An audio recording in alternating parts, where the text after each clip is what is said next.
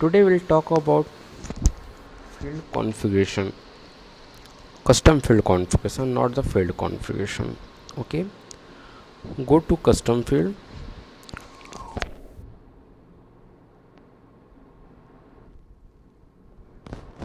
Here search for instance. Okay? Let me open this in the new tab.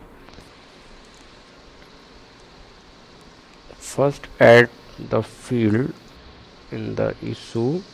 How to add? Go to project setting.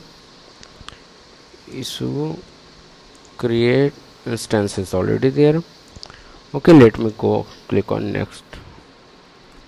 Anything anything instance. I am selecting I'm not selecting anything. Leave it. Okay it's not click on edit.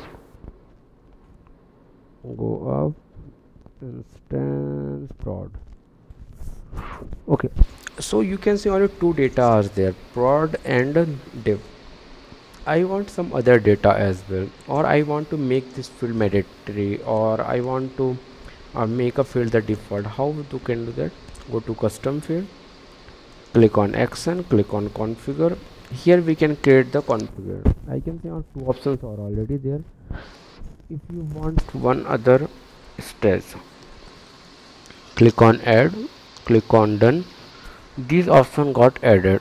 Once you will come here refresh the page.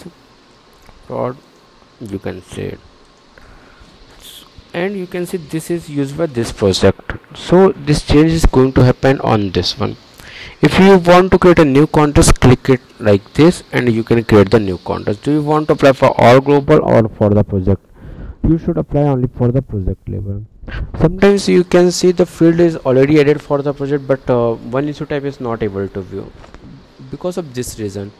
If you are selected only story only story issue type will be able to see that field. Other issue type will not be able to click on cancel. Like this you can see uh, you can check it. Okay? Default field value. Now i'm going to make it div as a default one set default one. Okay come here click on the create. Go down you can see div is already selecting. Let me provide some value. Some values over here. Click on create.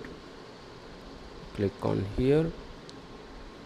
See here you can see div is already selected. I, I haven't provided the div but it's uh, so like this default value is coming.